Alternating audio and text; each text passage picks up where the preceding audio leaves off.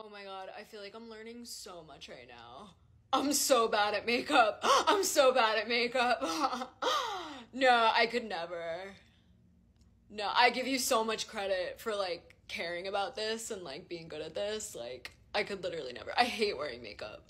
Like I wear like mascara sometimes, but just like I don't like like lying to the world about like who I am. No, like it's great that you love it, babe. It's great that you love it, but like like you'd have to love it to like want to do this. Wait, so you do this like every single day? Like all these steps?